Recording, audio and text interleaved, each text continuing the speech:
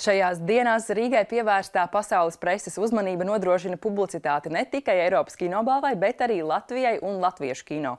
Dažus mūsu kolēģus, ārzemju žurnālistus, kas ieradušies atspūgļot Eiropas kino profesionāļu godināšanu, satika arī Dace Anžāna.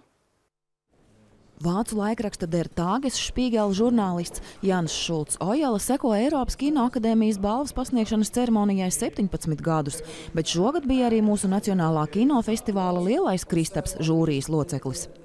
Uh, Man ļoti patika animācija. Dažas dokumentālās filmas bija izcilas.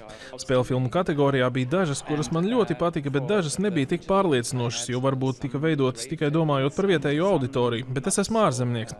Bet bija dažas ļoti spēcīgas filmas, un tās arī saņēma balvas.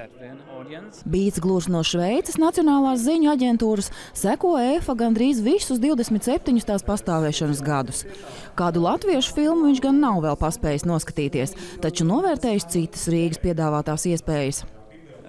Cold, Šeit ir briesmīgi augsts, bet tā kā esmu no Šveices, tas man nav nekas neparasts. Skaista pilsēta, skaista arhitektūra. Es interesējos par arhitektūru. Šeit ir viss no vēlās renesanses līdz jūgenstilam un arī postmodernas ēkas, kā Nacionālā bibliotēka.